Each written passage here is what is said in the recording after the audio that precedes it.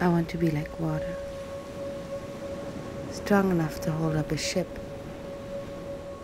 but able to slip through your fingers.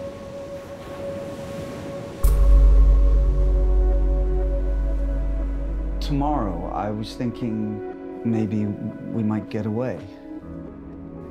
Take a drive. We don't take drives, do we? Maybe we should start. Explore again. Explore.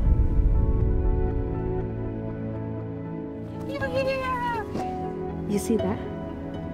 I claimed it. For us. It's perfect.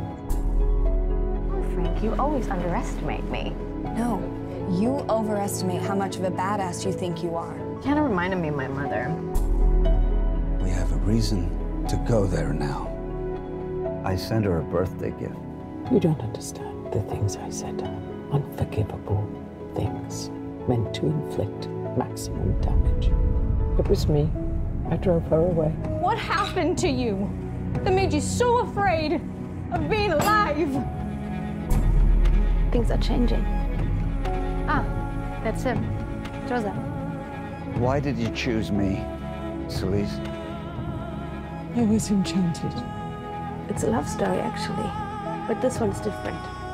I always suspected their love was formed by a sustaining wave of some kind.